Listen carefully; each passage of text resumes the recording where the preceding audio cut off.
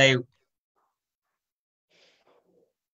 रत्नाखर धौतपदां हिमालयकिरीटिनीं ब्रह्मराजर्षिरत्नाढ्यां वन्दे भारतमातरम् Namaste.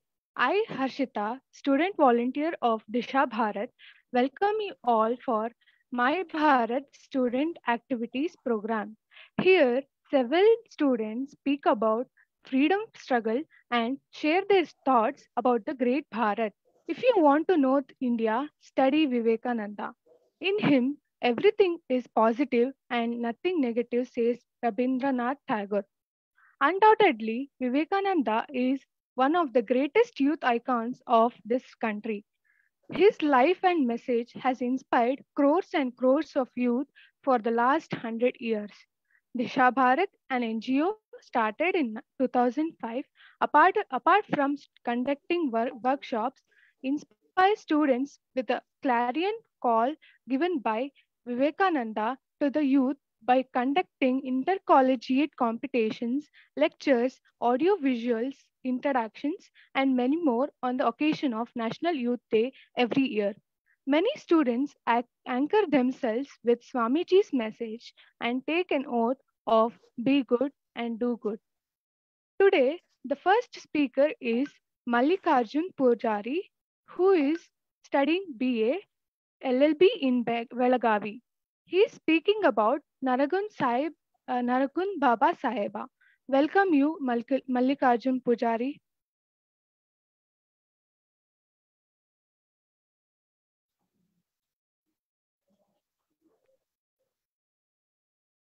Namaskara.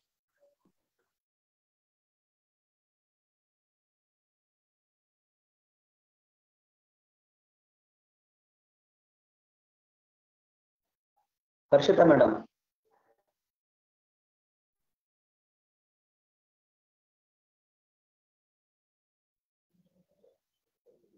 हरिओम Hariom Mallikarjun can start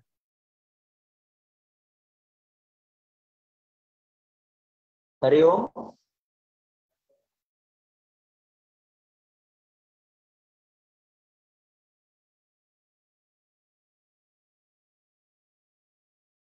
Harshita madam.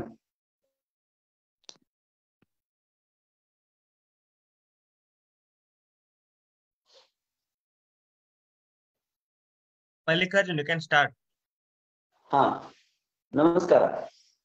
I am audible sir yes yes yes you are audible okay okay नमस्कार।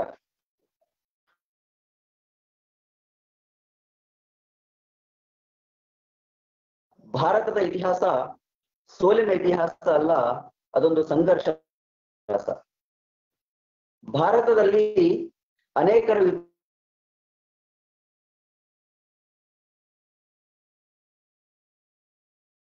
ಫಿಲ್ಮ್ ಇಂಡಸ್ಟ್ರಿಗಳ ಹೀರೋಗಳನ್ನೇ ತಮ್ಮ ತಮ್ಮ ಹೀರೋಗಳನ್ನಾಗಿ ಇವತ್ತು ಮಾಡಿಕೊಂಡು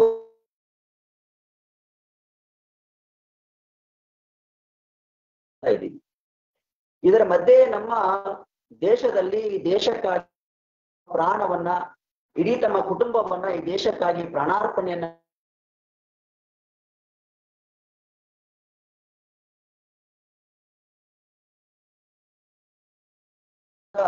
ಸ್ವಾತಂತ್ರ್ಯದ ಹೀರೋ ಅಂತ ಹೇಳಿ ನಾವು ಅವರನ್ನ ಕರಿಬಹುದು ನರಗುಂದದ ಬಾಬಾ ಸಾಹೇಬ್ ಅನ್ನುವ ಆ ಮಹಾನ್ ಯೋಧನ ಒಂದು ಸಣ್ಣ ಪರಿಚಯ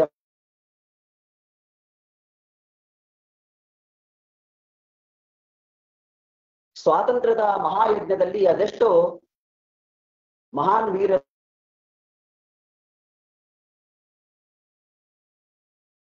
ಈ ದೇಶಕ್ಕಾಗಿ ತಮ್ಮ ಪ್ರಾಣವನ್ನ ಆಗ ಆಕ್ರಮಣಗಳಾಯಿತು. ಅವಾಗವಾಗ ಈ ದೇಶದಲ್ಲಿರ್ತಕ್ಕಂಥ ಜನಗಳು ಓಡಿ ಅವರನ್ನ ಎದುರಿಸಿದ ದಿನವೇ ಭಾರತದ ಪ್ರಥಮ ಸ್ವಾತಂತ್ರ್ಯ ಸಂಗ್ರಾಮ.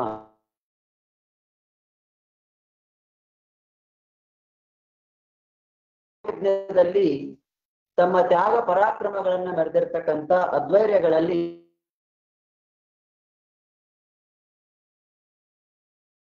ನರಗುಂದದ ಬಾಬಾ ಸಾಹೇಬರು ಏನು ಕಡಿಮೆ ಇರಲಿಲ್ಲ. ಹಾಗಾಗಿ ನರಗುಂದರ ಬಾಬಾ ಸಾಹೇಬರು ಈ ಸ್ವಾತಂತ್ರ್ಯಕ್ಕಾಗಿ ತಮ್ಮ ಕೊಡುಗೆಯನ್ನ ನೋಡೋದಾದ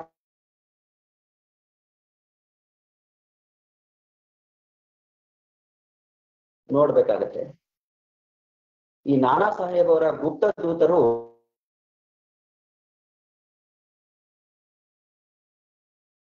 ಚರಿಸ್ತಾ ಇದ್ರು ಆಗ ಉತ್ತರ ಭಾರತದಲ್ಲಿ ನಡೆದಿರ್ತಕ್ಕಂಥ ವಿಚಾರಗಳು ದಕ್ಷಿಣ ಭಾರತದ ರಾಜ್ಯಗಳಿಗೂ ಕೂಡ ಹೋಗಿ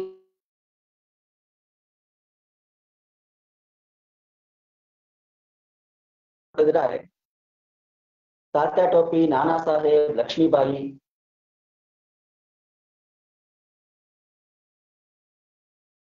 ಇರ್ತಕ್ಕಂಥ ಜನಗಳು ಅಲ್ಲೇ ಪ್ರೇರಣೆಯನ್ನ ಪಡ್ಕೊಂಡು ಈ ಸ್ವಾತಂತ್ರ್ಯದ ಮಹಾಯಜ್ಞಕ್ಕೆ ಧುಮ್ತಾ ಇದ್ರು. ಅದರಲ್ಲಿ ವಿಶೇಷವಾಗಿ ನಿಜವಾದ ಅಸಮಾಧಾನ, ಬ್ರಿಟಿಷರಿಂದ ಅಸಮಾ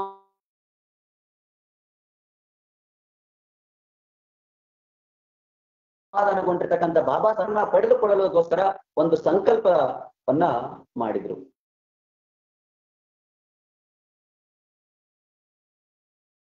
ಈ ನರಗುಂದಕರ ಬಾಬಾ ಸಾಹೇಬರ ಒಂದು ಹಿನ್ನೆಲೆಯನ್ನ ನೋಡೋದಾದ್ರೆ ನಾನಾ ಸಾಹೇಬ್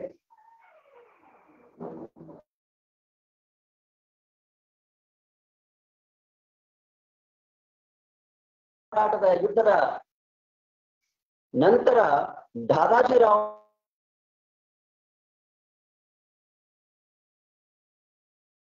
ಏರಿದ ಭಾಸ್ಕರರಾವ್ ಭಾವೆ. ಈ ದಾದಾಜಿರಾವ್ ಭಾವ ಹಿರಿಯ ಮಗ ಭಾಸ್ಕರರಾವ್ ಭಾವೆ. ಇವರಿಗೆ ಇನ್ನೊಬ್ಬ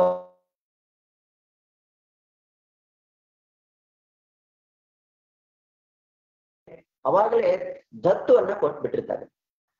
ಇನ್ನು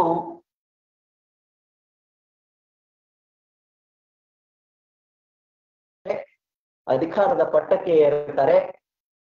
ತಂದೆಯಷ್ಟೇ ವೀರ ಮತ್ತು ಧೀರ ಗಂಡದೆಯ ಮಗ ಆಗಿರ್ತಾನೆ.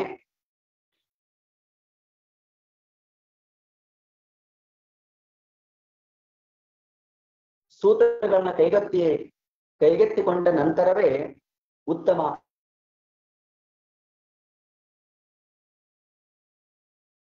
ಜನರ ಪ್ರೀತಿ ಮತ್ತು ವಿಶ್ವಾಸಗಳನ್ನ ಗಳಿಸುವುದರಲ್ಲಿ ಭಾಸ್ಕರ ಭಾವೆ ಅತ್ಯಂತ ಪ್ರಭಾವಿತನಾಗಿ ತನ್ನ ಕಾರ್ಯವನ್ನ ನಿರ್ವಹಿಸ್ತಾನೆ.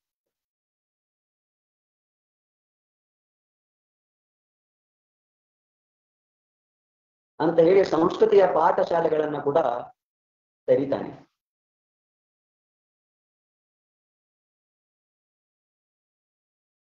ಇರ್ತಕ್ಕಂಥ ಆ ಸಂಸ್ಕೃತಿಯ ಪಾಠಶಾಲೆ ಸುಟ್ಟು ಬೂದಿಯಾಗತ್ತೆ ಆದ್ರೆ ಭಾಸ್ಕರ ಭಾವೆ ತನ್ನ ಚಾಣಾಕ್ಷತನ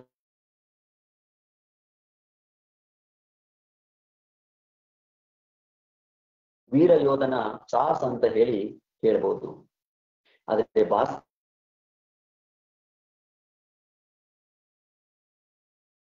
ಮರಣವನ್ನ ಹೊಂತಾರೆ ಈ ಅಕಾಲಿಕ ಮರಣದ ನಂತರ ಭಾಸ್ಕರ ಭಾವೆ ತಮ್ಮ ಉತ್ತರಾಧಿಕಾರತ್ವವನ್ನ ಮುಂದುವರೆಸಬೇಕು ಅನ್ನುವ ಆಲೋ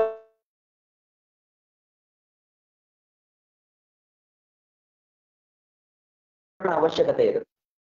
ಆ ಪುತ್ರನ ಅವಶ್ಯಕತೆ ಇರುವಾಗ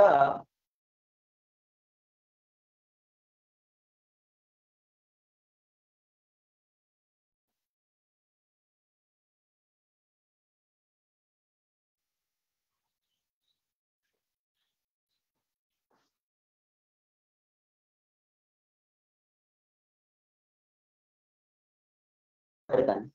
ನಾನು ದತ್ತು ಪುತ್ರವನ್ನ ತೆಗೆದುಕೊಳ್ಬೇಕು. ಹಾಗಾಗಿ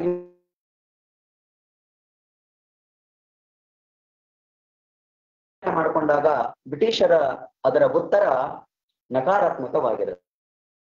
ಇದರಿಂದ ಅಸಮಾಧಾನಗೊಂಡಿರ್ತಕ್ಕಂಥ ಭಾಸ್ಕರ ಭಾವೆ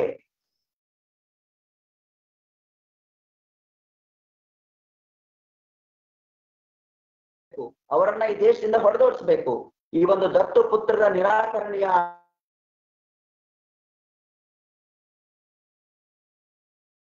ಉಳಿಸ್ಬೇಕು ಅಂತ ಹೇಳಿ ಸಂಕಲ್ಪ ಮಾಡ್ತಾನೆ. ಹಾಗೆಯೇ ಆತ ಯುದ್ಧ ತಂತ್ರವನ್ನ ರಚಿಸಿ ಅನೇಕರನ್ನ ಆತ ಸಂಪರ್ಕಕ್ಕೆ ಹೋಗ್ತಾನೆ.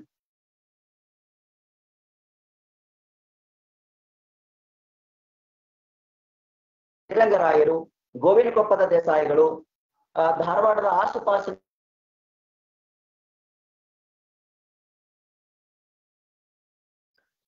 ಆದ್ರೆ ಭಾಸ್ಕರ ಭಾವೆಯವರನ್ನ ಭಾಸ್ಕರ ರಾವೆ ಅವರ ಭಾವೆಯವರ ಮೇಲೆ ಒಂದು ಸರ್ಪ ಕಣಗಾವಲನ್ನ ಬ್ರಿಟಿಷ್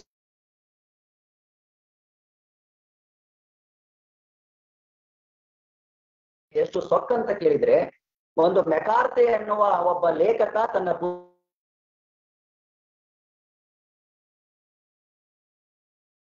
ಅವರ್ ಓನ್ ಟೈಮ್ ಅನ್ನುವ ಪುಸ್ತಕದಲ್ಲಿ ಉಲ್ಲೇಖ ಮಾಡಿದ್ದಾನೆ. ಈ ದತ್ತು ಪುತ್ರರ ನಿರಾಕರಣೀಯ ಪದ್ಧತಿ ಇದೆಯಲ್ಲ?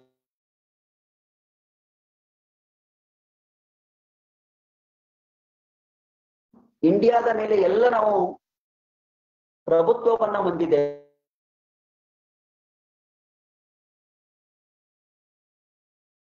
ಪ್ರದೇಶಗಳ ಭೂ ಪ್ರದೇಶಗಳ ನಾವೇನಾದ್ರೂ ವಶಪಡಿಸಿಕೊಂಡ್ರೆ ನಾವು ಸಂಪೂರ್ಣ ಈ ಇಂಡಿಯಾದ ಮೇಲೆ ರಾಜಪ್ರಭುತ್ವ, ಸಾರ್ವಭೌಮತ್ವವನ್ನ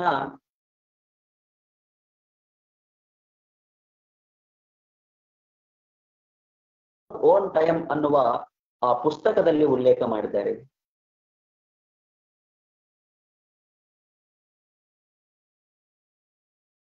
ವಿಚಾರ ಇವತ್ತು ಭಾರತದ ಮೇಲೆ ಎಷ್ಟು ಪ್ರಭಾವವನ್ನ ಬೀರಿತು ಅನ್ನೋದನ್ನ ಇದರಿಂದ ಗಮನಿಸಬೇಕಂತ ವಿಷಯ. ಆದ್ರೆ ಭಾಸ್ಕರ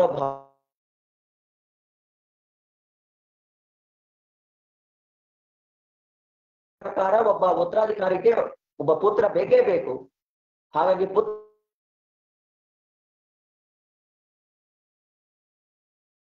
ಎಲ್ಲೆಲ್ಲಿ ಆ ಪದ್ಧತಿಗಳನ್ನ ನಿರಾಕರಣೆ ಮಾಡಿದ್ರು ಅಲ್ಲೆಲ್ಲಿ ಅವರವರು ಅಧಿಕಾರವನ್ನು ಸ್ಥಾಪಿಸಬೇಕು ಅನ್ನುವ ವಿಚಾರ ಹುಬ್ಬಳ್ಳಿ ಸರ್ಕಾರದಾಗಿತ್ತು. ಆದ್ರೆ ಭಾಸ್ಕರ ಭಾವೆಯವರು ಅದನ್ನ ಮುಂದಾ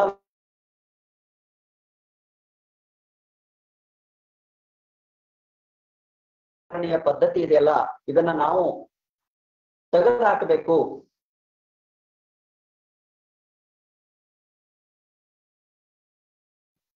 ಹಾಗಾಗಿ ಮುಂದೆ ಮುಂಡರಗಿಯ ಭೀಮರಾಯ ಕಡೆ ಹೋಗಿ ನೀವು ನಮ್ಮ ಬಂಡಾಯವನ್ನ ಮಾಡಬೇಕು. ಈ ರೀತಿಯ ಬ್ರಿಟಿಷರ ವಿರುದ್ಧ ಬಂಡಾಯವನ್ನ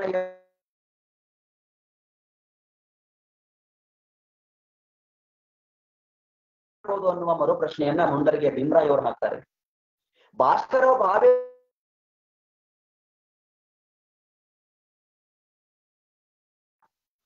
ಎಲ್ಲ ರೀತಿಯಿಂದ ಆತನಿಗೆ ಸಹಾಯ ಸಹಕಾರ ಮಾಡಿದ್ದು ಮುಂಡರಗಿಯ ಭೀಮರಾಯ. ಏನ್ ಮಾಡ್ಬೋದು ಅಂತ ಕೇಳಿದ್ರೆ ತೋರ್ಗಲ್ಲಿನ ಎಲ್ಲ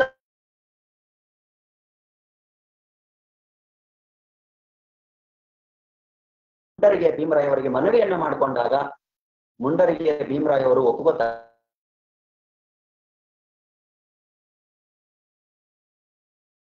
ಎಲ್ಲ ಸಂಘಟನೆಗಳನ್ನ ಮಾಡಬೇಕು ಅಂತ. ಆದ್ರೆ ತದನಂತರ ಇನ್ನೊಬ್ಬ ಬ್ರಿಟಿಷ್ ಸರ್ಕಾರ ಮ್ಯಾನ್ಸನ್ ಅನ್ನುವನನ್ನ ದಕ್ಷಿಣ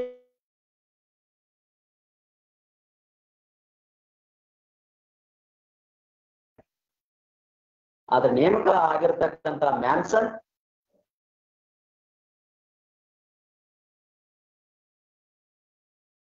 ನರಗುಂದದ ಮೇಲೆ. ಆ ನರಗುಂದದ ಬಾಬಾ ಸಾಹೇಬನ ನರಗುಂದದ ನರಕೇಸರಿ ಎಂದೇ ಪ್ರಖ್ಯಾತಿಯನ್ನ ಪಡೆದಿರ್ತಕ್ಕಂಥ ಬಾಬಾ ಸಾಹೇಬನ ಮೇಲೆ ಮೊಟ್ಟ ಮೊದಲ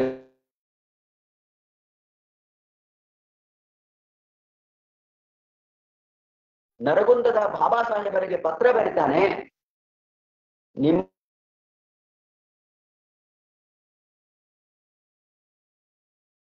ಅಂತ ಹೇಳಿ ಪತ್ರ ಬರಿತಾನೆ. ಪತ್ರ ಬರೆದು ಸುಮ್ಮನೆ ಕುತ್ಕೊಳ್ಳಿಲ್ಲ. ಅದನ್ನ ಆಜ್ಞೆಯನ್ನ ಮಾಡಿ ಹದಿನಾರನೇ ತಾರೀಕು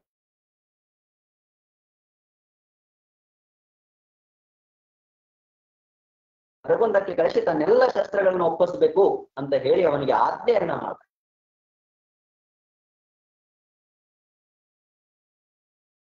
ಆದ್ರೆ ಭಾಸ್ಕರ ಭಾವೆ ಅತ್ಯಂತ ಚಾಣಾಕ್ಷ ಮನುಷ್ಯ. ಆ ಒಂದು ಸಂದರ್ಭಕ್ಕೆ ಅನುಸಾರವಾಗಿ ಆತನನ್ನ ಅತ್ಯಂತ ಅತಿಥಿ ದೇವೋಭವ ಅನ್ನುವ ರೀತಿಯಲ್ಲಿ ಆ ಬ್ರಿಟಿಷ್ ಅಧಿಕಾರಿಯನ್ನ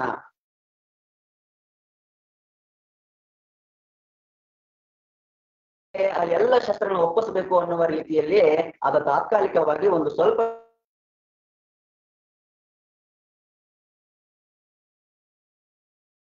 ಆತ ಹೋಗ್ತಿರ್ತಾನೆ, ಧಾರವಾಡದ ಕಡೆಗೆ ಹೋಗ್ತಿರ್ಬೇಕಾದ್ರೆ ಬ್ರಿಟಿಷ್ ಅಧಿಕಾರಿ.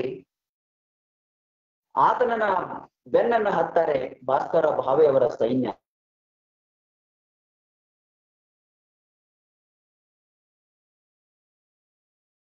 ಎಲ್ಲ ಶಸ್ತ್ರಗಳನ್ನ ಮತ್ತೆ ಮರಳಿ ವಾಪಸ್ ತಮ್ಮ ವಶಕ್ಕೆ ಪಡ್ಕೋತಾರೆ. ಪಡ್ಕೊಂಡು ಮತ್ತೆ ನರಗೊಂದಕ್ಕೆ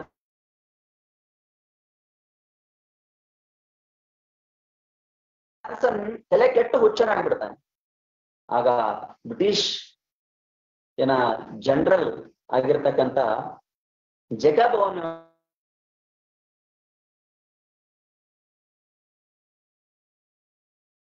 ಯುದ್ಧಕ್ಕೆ ಎಲ್ಲ ತಂತ್ರಗಳನ್ನ ರಚಿಸ್ಬಿಟ್ಟಿರ್ತಾರೆ ಯುದ್ಧಕ್ಕೆ ಎಲ್ಲ ತಂತ್ರಗಳನ್ನ ರಚಿಸಿಬಿಟ್ಟಿರ್ತಾರೆ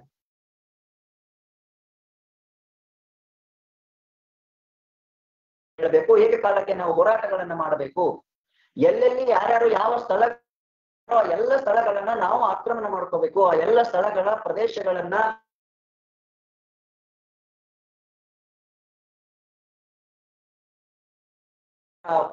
ಒಂದು ವಸ್ತುಗಳನ್ನ ಎಲ್ಲ ನಾವು ವಶಪಡಿಸಿಕೊಂಡು ಲೂಟಿಯ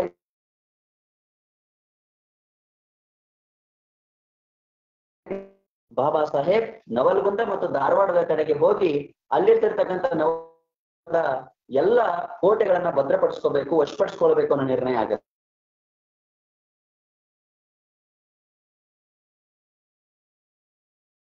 ಹೋಗಿ ಅಲ್ಲಿರ್ತಿರ್ತಕ್ಕಂಥ ಎಲ್ಲ ಕೋಟೆಗಳನ್ನ ವಶಪಡಿಸ್ಕೊಳ್ಬೇಕು ಅನ್ನೋ ನಿರ್ಣಯ ಆಗುತ್ತೆ.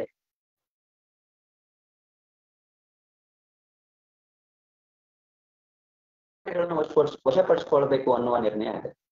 ಈ ರೀತಿ ಆಕ್ರಮಣ ಮಾಡಬೇಕು ಅನ್ನುವ ಮುಂಡರಿಗೆ ಭೀಮರಾಯನ, ಆ,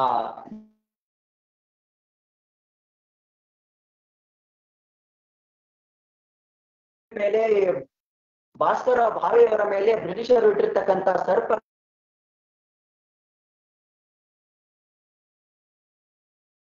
ಅವರಿಗೆ ವಿಷಯಗಳು ಮುಟ್ತಾ ಇತ್ತು ಇದೆಲ್ಲ ಮಾಹಿತಿ ಬಂದ ಮೇಲೆ ಬ್ರಿಟಿಷ್ ಸರ್ಕಾರ ಮ್ಯಾನ್ಸನ್ಗೆ ಪತ್ರ ಬರೆಯುತ್ತೆ. ಯಾವುದೇ ಕಾರಣಕ್ಕೂ ಬಾ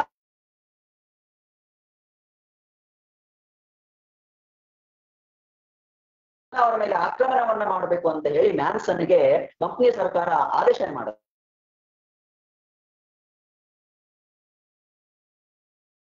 ಸೈನ್ಯವನ್ನ ಕಟ್ಟಿಕೊಂಡು ತಯಾರಾಗಿ ಬಿಡ್ತಾನೆ ಆಗ ಇನ್ನೊಬ್ಬ ಯೋಧ ಕಲಾತಿಗೆಯಿಂದ ಪೂರ್ಣ ಸಿಂಗ್ ಅನ್ನೋನು ಕೂಡ ಆ ಮ್ಯಾನ್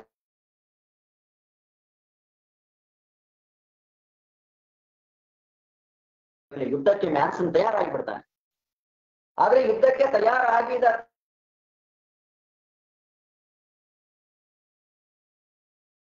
ರಾಮದುರ್ಗದ ಅಲ್ಲಿದ್ದಿರ್ತಕ್ಕಂಥವನು ಈ ಭಾಸ್ಕರ ಭಾವೆಯ ಹರಿಭಾವ ಭಾವೆ. ಆದ್ರೆ ಹರಿಭಾವ ಭಾವೆ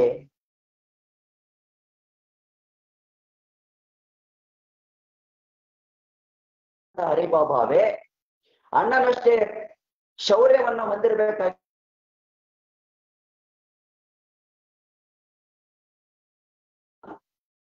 ಅದ್ದೂರಿಯಿಂದ ಸ್ವಾಗತವನ್ನ ಮಾಡ್ತಾನೆ.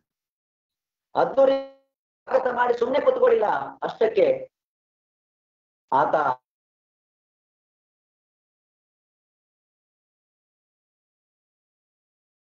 ನೀನು ನನಗೆ ಸಹಾಯ ಮಾಡಬೇಕು ಅನ್ನುವ ಆ ಎಲ್ಲ ಪತ್ರಗಳನ್ನು ಕೂಡ ಆ ಮ್ಯಾನ್ಸನ್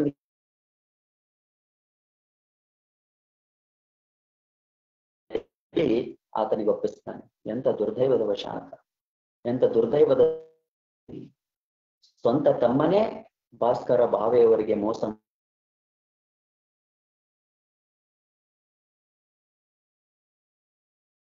ಭಾರತದ ವೀರ ಯೋಧರಿಗೆ ನಮ್ಮವರೇ ನಮ್ಮವರು ಮೋಸ ಮಾಡಿರ್ತಕ್ಕಂಥದ್ದು ಅನೇಕ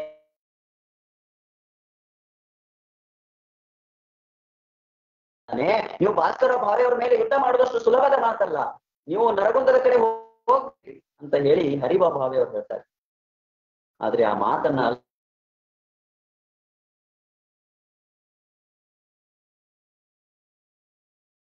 ಅನ್ನುವ ಹಳ್ಳಿಗೆ ಬಂದ ತಲುಪ್ತಾನೆ ಅನ್ನುವ ಹಳ್ಳಿಗೆ ಬಂದ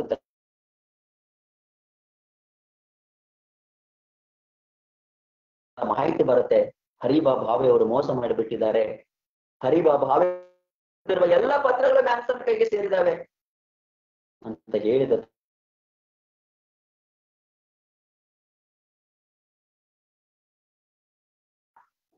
ಎದೆಗೊಂದಲಿಲ್ಲ ಆ ಮ್ಯಾನ್ಸನ್ ಅನ್ನು ಎದುರಿಸಬೇಕು ಅನ್ನುವ ಚ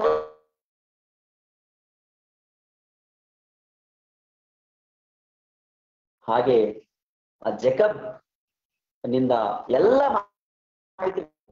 ಎಲ್ಲ ಮಾಹಿತಿಗಳನ್ನ ಪಡ್ಕೊಂಡಾಗ ಜಕಬ್ನಿಂದ ಬಂದ ಮಾಹಿತಿ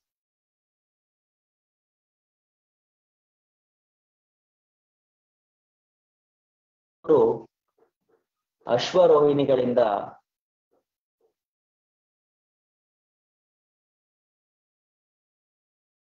ಬರ್ತಾರೆ ಸುರೇಬಾನಿಗೆ. ಸುರೇಬಾನಿಗೆ ಬಂದು ಆ ಭಾಸ್ಕರ ಭಾವಿ ಆಕ್ರಮಣ ಮಾಡುವ ಹೊತ್ತಿಗೆ ಮೊದಲಿಗೆ ತನ್ನ ಪಿಸ್ತೂಲ್ನಿಂದ ಗುಂಡನ್ನ ಹಾರಿಸನ ಹಾರಿಸಿದ ತಕ್ಷಣ ಎಲ್ಲರೂ ಎಚ್ಚೆತ್ತುಕೊಳ್ತಾರೆ. ಎಚ್ಚೆತ್ತುಕೊಂಡು ಎಲ್ಲ.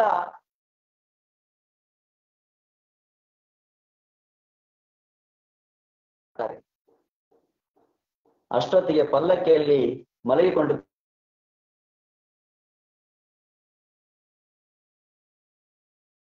ಅಷ್ಟೊತ್ತಿಗೆ ಭಾಸ್ಕರ ಭಾವೆ ಕಡೆಯವರ ಎಲ್ಲರೂ ಸೈನ್ಯರು ಆ ಮ್ಯಾನ್ಸನ್ ಉರುಳಿಸಿ ಎಲ್ಲ ಹಂತಕರನ್ನ ಕೊಚ್ಚಿ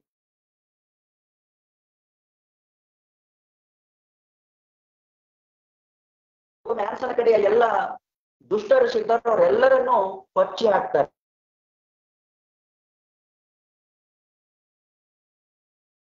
ಆ ರುಂಡವನ್ನ ನರಗುಂದಕ್ಕೆ ತೆಗೆದುಕೊಂಡು ಹೋಗ್ತಾರೆ. ನರಗುಂದಕ್ಕೆ ತೆಗೆದುಕೊಂಡು ಅಗಶಿಕೋಟಿಗೆ ರಾತ್ ಅಗಶಿಕೋಟಿಗೆ ಕಟ್ಟಿದ ಬತ್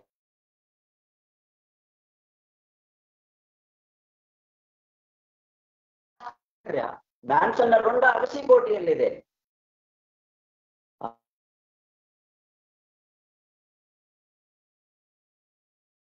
ನೆರೆದಿರ್ತಕ್ಕಂತ ಮ್ಯಾನ್ಸನ್ನ ರುಂಡವನ್ನ ಕತ್ತರಿಸಿದ, ರುಂಡವನ್ನ ಚೆಂಡಾಡಿದ ವೀರ ಯಾರಂತ ಕೇಳಿದ್ರೆ ಅದು ನಮ್ಮ ಹೆಮ್ಮೆಯ ನರಗುಂದದ ಬಾಬಾ ಸಾಹೇಬ್, ನರಗುಂದದ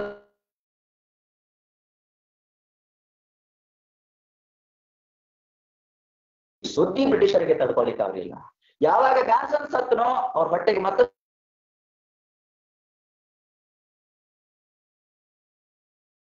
ಮಾಡಿ ಮನುಷ್ಯನ ಸೆರೆ ಪಡೆಯಲೇಬೇಕು ಅನ್ನುವ ನಿರ್ಣಯವನ್ನ ಮಾಡ್ತಾರೆ. ಮಾಡಿ ಎಲ್ಲ ಸೈನ್ಯವನ್ನ ಒಟ್ಟುಗೂಡಿಸಿ ಈ ಮಾಲ್ಕಂ ಅನ್ನುವ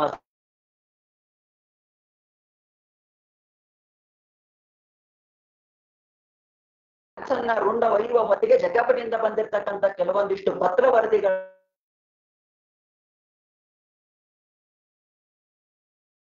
ಹೇಳಿ ಭಾಸ್ಕರ ಭಾವೆಯವರಿಗೆ ಬಹಳ ದೊಡ್ಡ ವೇದನೆ ಆಗುತ್ತೆ. ಬಹಳ ದೊಡ್ಡ ವೇದನೆ. ಏನಂತ ಕೇಳಿದ್ರೆ ಪತ್ರದಲ್ಲಿ ಇದ್ದಿರ್ತಕ್ಕಂಥ ವಿಷಯ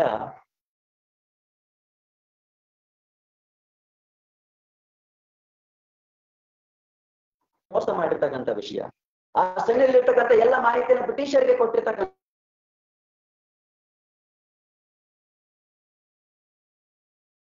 ವಿಷಯ. ಅಷ್ಟಾದ್ರೂ ಕೂಡ ಆತ ಯಾರು ಭಾಸ್ಕರ ಬಾಬು ಹೆದರ್ಲಿಲ್ಲ. ಅನ್ಸಲಿಲ್ಲ ಯುದ್ಧವನ್ನ ತನ್ನ ಕತ್ತಿಯಿಂದ ಯುದ್ಧ ಮಾಡಿದ. ಆದ್ರೆ ಕೊನೆಗೆ ಎಲ್ಲಿ ಶಸ್ತ್ರ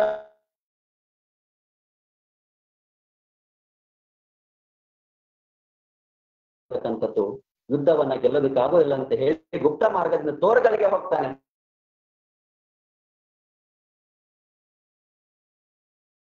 ತೋರ್ಗಳನ್ನ ಮಾಡ್ತಾರೆ. ಯಾರು ಭಾಸ್ಕರ್ ಅವರನ್ನ ಹಿಡಿದು ಕೊಡ್ತೀರೋ ಅವರಿಗೆ ಹತ್ತು ಸಾವಿರ ರೂಪಾಯಿ ಕೊಡ್ತೀವಿ ಅಂತ ಹೇಳ್ತಾರೆ.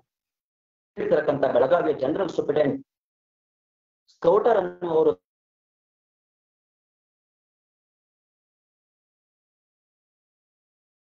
ಜಗತಾಪಿ ಅನ್ನೋರ ಮನೆಯಲ್ಲಿ ಇರ್ತಾರೆ ಅದನ್ನ ಲಕ್ಷ್ಮಣರಾವ್ ಜಗತಾಪಿ ಅವರು ಪೊಲೀಸರ ಚಿತ್ರ ಹಿಂಸೆ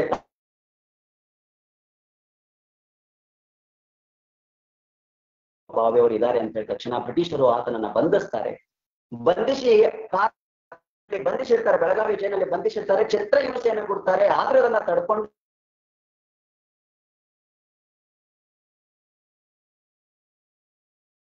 ಅಂತ ಹೇಳಿ ಅನೇಕ ಇಲ್ಲ ಸ್ಥಳದ ಆರೋಪಗಳನ್ನ ಹೊರಸಿ ಆತನ ಗಲ್ಲು ಶಿಕ್ಷೆಗೆ ಗುರಿಯನ್ನ ಪಡಿಸ್ತಾರೆ.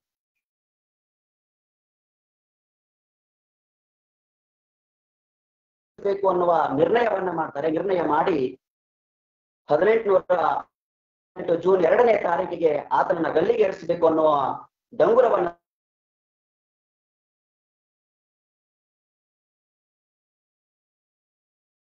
ಇವತ್ತಿಗೂ ಬೆಳಗಾವಿಯಲ್ಲಿ ಆ ಚೌಕಿಗೆ ನರಗುಂದಕರ ಭಾವೆ ಚೌಕ್ ಅಂತ ಹೇಳಿ ನಾವು ಬೆಳಗಾವಿಯಲ್ಲಿ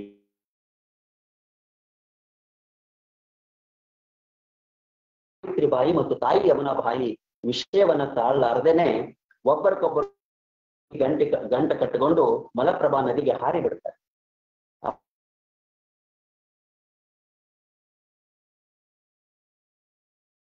ಆ ಎರಡು ಶವಗಳು ಈ ರೀತಿಯ ಪರಾಕ್ರಮವನ್ನ ಮೆರೆದಿರ್ತಕ್ಕಂಥ, ಈ ರೀತಿಯ ಭಾರತದ ಸ್ವಾ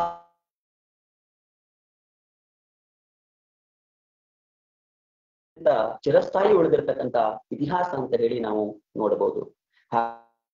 ಭಾರತದ ಇತಿಹಾಸ, ಸೋಲಿನ ಇತಿಹಾಸ ಅಲ್ಲ, ಅದು ಸಂಘರ್ಷದ ಇತಿಹಾಸ ಅಂತ ಹೇಳಿ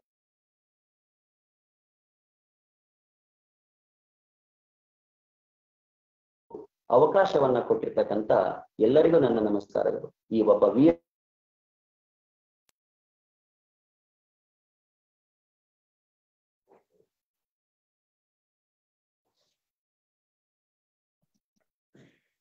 Thank you, Mallikarjun, for sharing the story of Nargun, Sai, Nargun Baba Saheba. It was truly in- inspirational. The next speaker is Akshay, who is studying engineering first year in BNM Institute of Technology, Bangalore.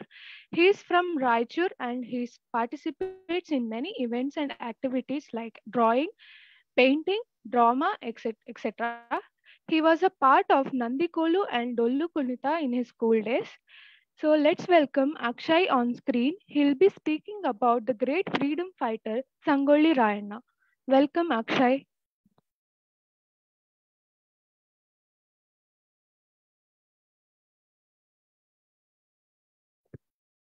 ಎಲ್ಲರಿಗೂ ನಮಸ್ಕಾರ.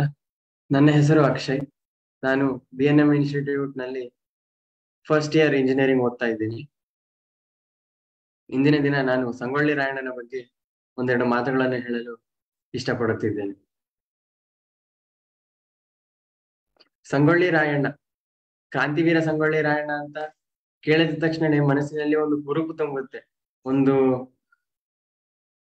ಬೇರೆಯ ಧೈರ್ಯ ಮತ್ತು ಸಾಹಸ ಅವರ ಹೆಸರು ಕೇಳಿದೆ.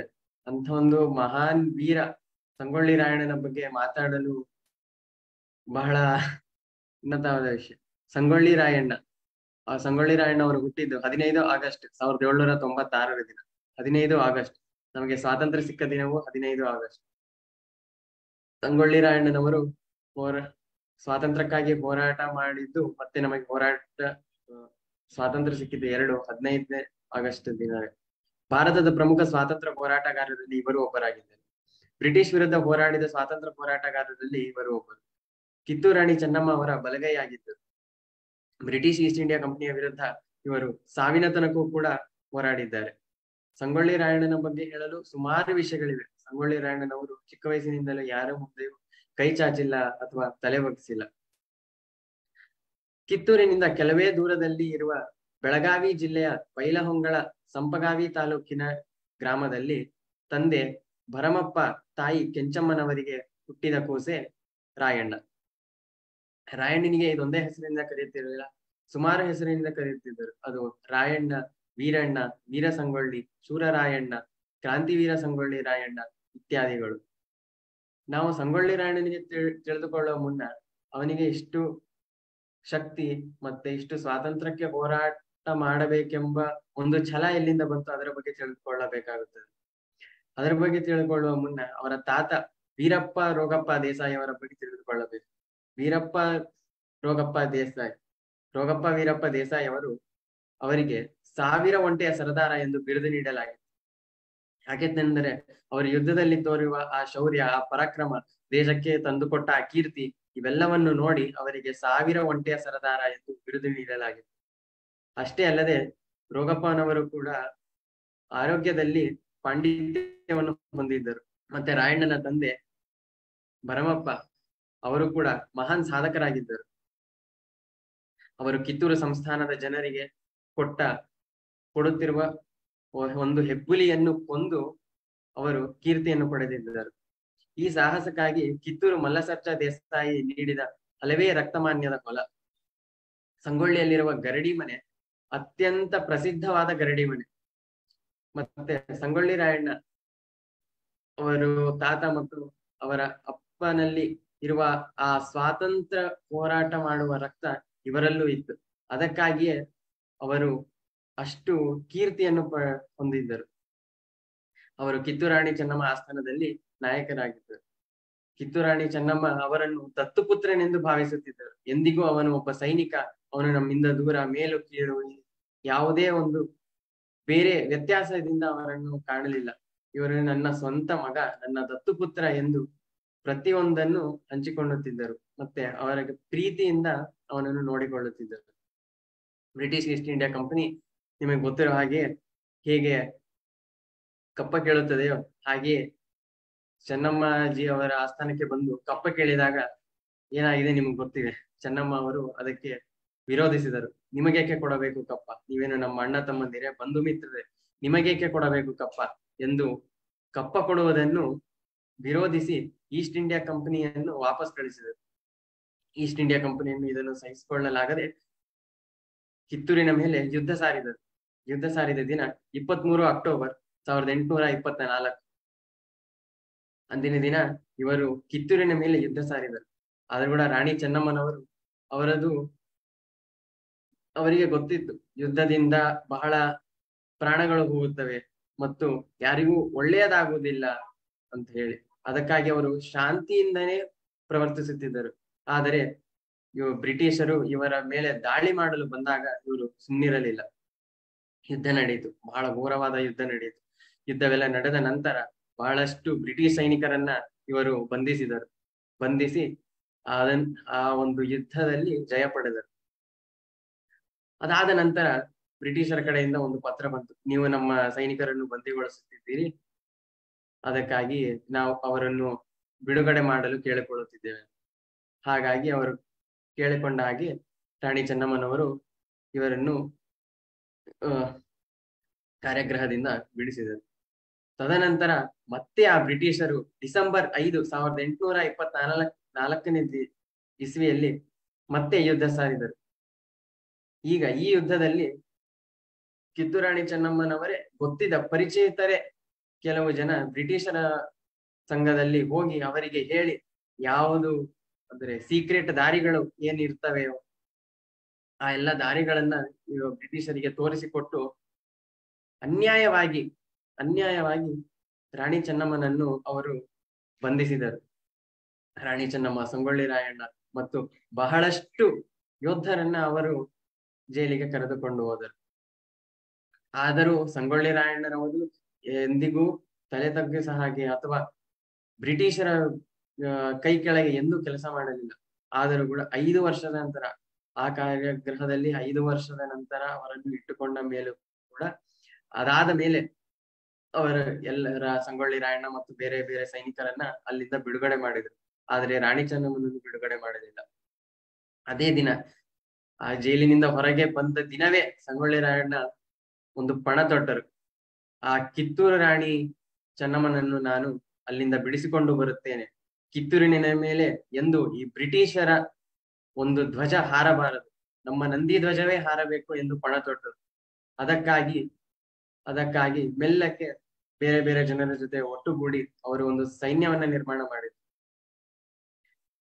ಬೇರೆ ಬೇರೆ, ಆ ಸ್ಥಳಗಳಲ್ಲಿ ಹೋಗಿ ಬೇಡಿ ಸಾಮರೇಶಗಡ್ಡ ಖಾನಾಪುರ, ಪರವಶ್, ಪರಶವಾಡ, ದೇಸನೂರು, ನಂದಿಗಡ್ಡ ಹೀಗೆ ಬೇರೆ ಬೇರೆ ಕಡೆ ಹೋಗಿ ಬ್ರಿಟಿಷರ ವಿರುದ್ಧ ಹೋರಾಡಿ ಅಲ್ಲಿ ಇರುವ ಜನರಿಗೆ ಒಂದು ಸ್ಫೂರ್ತಿ ಮೂಡಿಸಿ, ಒಂದು ಮನಸ್ಸಿನಲ್ಲಿ ಸ್ವಾತಂತ್ರ್ಯ ಸ್ವಾತಂತ್ರ್ಯಕ್ಕಾಗಿ ಹೋರಾಡಬೇಕು ಎಂದು ಕಿಚ್ಚು ಮೂಡಿಸಿ ಅವರನ್ನೆಲ್ಲ ಒಟ್ಟುಗೂಡಿ ಕಿತ್ತೂರನ್ನು ಸಂರಕ್ಷಣೆ ಮಾಡೋಣ ಅಂತ ಅವರಲ್ಲಿ ಒಂದು ಹುರುಪು ತುಂಬಿದವರು ನಮ್ಮ ಸಂಗೊಳ್ಳಿ ರಾಯಣ್ಣನ.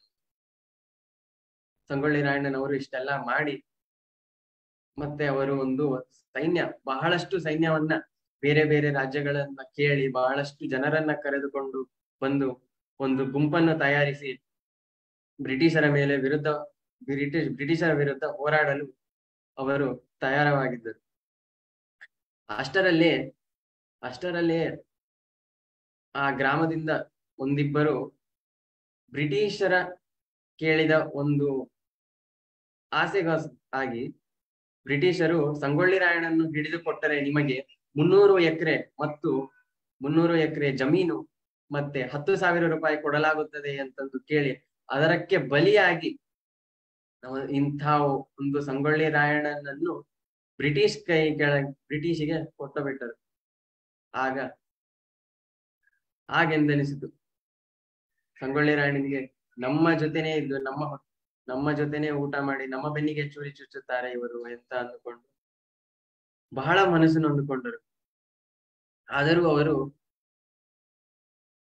ಆದರೂ ಅವರು ಸುಮ್ಮನಿರಲಿಲ್ಲ ತದನಂತರ ಅವರು ಬ್ರಿಟಿಷರ ಕೈ ಕೆಳಗೆ ಬಂದರೂ ಕೂಡ, ಅವರು ಸಾವಿನ ತನಕೂ ಕೂಡ ಬ್ರಿಟಿಷರ ವಿರುದ್ಧ ಹೋರಾಡಿದವರು. ಎಷ್ಟೇ ಏನೇ ಆಗಲಿ ನಾನು ಇವರ ಮುಂದೆ ತಲೆ ತಗ್ಗಿಸುವುದಿಲ್ಲ ಎಂಬ ಆಕ್ರೋಶ ಭಾವನೆ ಇವರದು. ಅವರು ನ್ಯಾಯಾಲಯಕ್ಕೆ, ಅವರ ಬ್ರಿಟಿಷರು ಸಂಗೊಳ್ಳಿ ರಾಯಣ್ಣನನ್ನು ನ್ಯಾಯಾಲಯಕ್ಕೆ ಕರೆದುಕೊಂಡು ಹೋಗಿ ಇವನು ಒಬ್ಬ ಅಪರಾಧಿ, ಇವನು ಬಹಳ ಜನರನ್ನು ಮೋಸ ಮಾಡಿದ್ದಾನೆ ಮತ್ತು ಕೊಂದಿದ್ದಾನೆ, ರಕ್ತಪಾತ ಮಾಡಿದ್ದಾನೆ ಅಂತಂದು ನ್ಯಾಯಾಲಯದಲ್ಲಿ ಹೇಳಿ ಅವರನ್ನು ಮತ್ತು ಅವರ ಸ್ನೇಹಿತರನ್ನು, ಅವರ ಏಳು ಜನ ಸ್ನೇಹಿತರನ್ನು ಗುರು ಶಿಕ್ಷೆ ಕೊಡಲಾಗುತ್ತದೆ ಎಂತೆಂದು ಅಲ್ಲಿ ಕೋರ್ಟಿನಲ್ಲಿ ಹೇಳಿದರು. ಆದ ನಂತರ ಅವರು ಕೇಳಿದಾಗ, ನಿಮ್ಮ ಆಖರಿ, ನಿಮ್ಮ ಯಾವ್ದಾದರೂ ಒಂದು ಕಡೆ ಆಸೆ ಏನಾದರೂ ಇದೆ ಅಂತ ಕೇಳಿದಾಗ ಅವರು ಕೇಳಿದ್ದು ಒಂದೇ, ನಾನು ಜನರ ಜೊತೆ ಮಾತಾಡಬೇಕು, ನಾನು ಜನರಿಗೆ ಕುರುಪು ತುಂಬಿಸಬೇಕು, ಸ್ಫೂರ್ತಿ ತುಂಬಿಸಬೇಕು ಎಂತೆಂದು ಐದು ನಿಮಿಷ ಜನರ ಜೊತೆ ಮಾತಾಡಿದರು.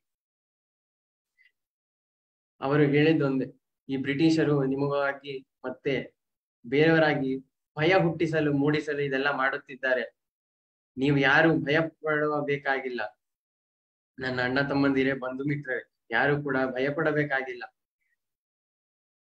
ಎಲ್ಲಿವರೆಗೂ ಎಲ್ಲಿವರೆಗೂ ಈ ಕ್ರಾಂತಿ ನಮ್ಮಲ್ಲಿ ಸ್ವಾತಂತ್ರ್ಯಕ್ಕಾಗಿ ಹೋರಾಡುವ ಛಲವಿರುತ್ತದೆಯೋ, ಅಲ್ಲಿವರೆಗೂ ಈ ಬ್ರಿಟಿಷರು ಏನು ಮಾಡಲು ಆಗುವುದಿಲ್ಲ. ಈ ಬ್ರಿಟಿಷರು ಒಂದಲ್ಲ ಒಂದು ದಿನ, ಕಡು ರಾತ್ರಿಯಲ್ಲೇ ಅವರ ಮುಖವನ್ನು ಮುಚ್ಚಿಕೊಂಡು ವಾಪಸ್ ಅವರ ಊರಿಗೆ ತೆರಳುತ್ತಾರೆ ಅಂತೆಂದು ಅವರಲ್ಲಿ ಹುರುಪು ಮೂಡಿಸಿದವರು.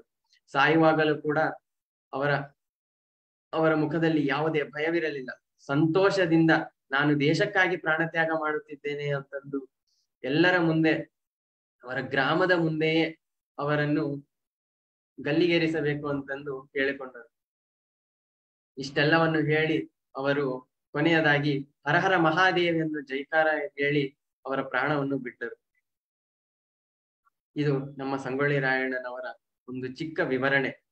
ಅವರ ಅವರ ಬಗ್ಗೆ ತಿಳಿದುಕೊಳ್ಳಬೇಕಂದರೆ ಸುಮಾರು ವಿಷಯಗಳಿವೆ. ಅವರ ಪೌರುಷ, ಅವರ ಪರಾಕ್ರಮ, ಅವರು ಹೇಗೆ ಮಾಡಿದರು, ಇದೆಲ್ಲ ವಿಷಯಗಳನ್ನು ತಿಳಿದುಕೊಳ್ಳಬೇಕಾಗುತ್ತೆ. ಇಷ್ಟು ಹೇಳುತ್ತಾ ನನ್ನ ಮಾತುಗಳನ್ನು ಮುಗಿಸುತ್ತಿದ್ದೇನೆ. ಧನ್ಯವಾದಗಳು. Thank you Akshay for sharing the inspirational story of great Sangolli Raina.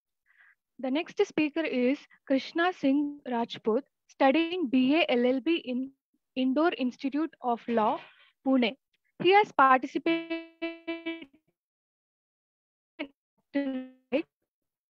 move forward and create MUN 4.0. Krishna is the university topper of BAVV Indore.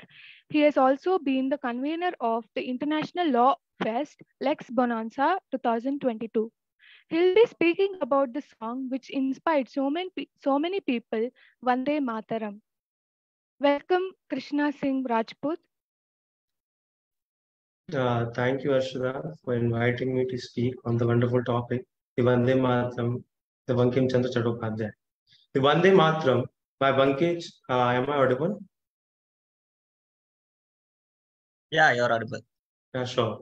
So Bankim Chandra Vande Mataram Vande Mataram जो हमें बताता है कि अनेकता में एकता, आज उसी के कारण ही आज हम अनेक भाषा बोलने के बावजूद भी एक साथ रहते हैं। देश के इतिहास में 14 अगस्त की तारीख आंसुओं से लिखी गई।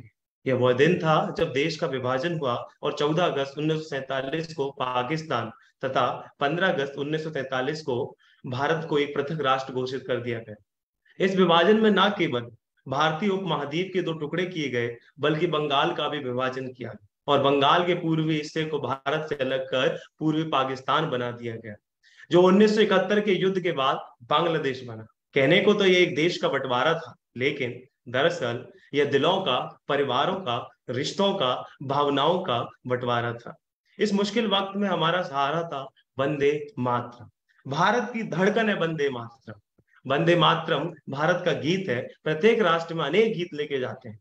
स्मरण किए जाते हैं और बुलाए जाते हैं। कुछ ही गीत ऐसे होते हैं जो राष्ट्र के जनजीवन पर अपनी गहरी छाप छोड़ जाते हैं। कुछ ही गीत ऐसे होते हैं जो सदैव अमर हो जाते हैं और किसी राष्ट्र का इतिहास बना देते हैं। वंदे मातरम गीत गीत उन गीतों में से एक है, जिसने स्वतंत्रता प्राप्ति के पूर्व लाखों भारतीय वासियों में अपनी मातृभूमि के प्रति मर मिटने की भावना उत्पन्न की। वह गीत है जिसे गाते हुए हज़ारों देश प्रेमियों ने मातृभूमि पर अपना जीवन निछावर कर दिया। है, जिसने राष्ट्रीय मृत जनता में जान फूक दी। इस प्रसिद्ध गीत के रचयिता बंगाल के कवि एवं लेखक श्री बंकिम चंद्र चटर्जी थे, जो अपने आप में स्वतंत्रता सेनानी थे। वंदे मातरम के दो शब्दों ने देशवासियों में देश भक्ति के प्राण फूंक दिए थे, और आज भी इसी भावना से वंदे मातरम गाया जाता है। हम यूँ भी कह सकते हैं कि देश के लिए सर्वोच्च त्याग करने की प्रेरणा देशभक्तों को इसी गीत से ही मिली थी। पीढ़ियाँ बीत गई, पर बंदे मातरम का प्रभाव अब भी हम देशवासियों के समक्ष है। आज भी यही गीत हमारे लिए प्रेरणा का स्रोत बना हुआ है। मुझे याद आते हैं मेरे बचपनों के दिन कि वो स्कूल के दिन, जब हर पंद्रह अगस्त और 26 जनवरी को यह गीत बजते ही हर बच्चे के दिल में जोश और मन में वंदे मातरम की खुशी आया आया करती थी। आज भी चाहे स्टेडियम हो या कोई और जगह हो यह गीत कानों में पड़ते ही हर युवा के अंतर्गत देश के प्रति प्रेम की भावना उत्पन्न कर देता है। इसी के साथ अंत में मैं यही कहना चाहता हूँ, इमारत वही टिकती है जिसकी नींव पक्की होती है। आज के युवा के पास सब कुछ है, बस इस्तेमाल करने की देरी है। क्यों ना भूला जाए वंदे मातरम और देश के प्रति प्रेम की भावना को फिर जगाया जाए। समाज में बदलाव तब तक नहीं आएगा। समाज में बदलाव तब तक नहीं आएगा, युवा नेतृत्व जब तक आगे नहीं आए। तब तक नहीं छटेगा मुसीबतों का अंधेरा, अंगारा बन जब तक युवा अंधेरे से नहीं कटाए टकराएगा। हम इस देश का भविष्य हैं और हमसे ही कल है। इसीलिए आइए, हम एक साथ मिलकर बंदे मातरम बोलते हैं। जय हिंद, जय भारत।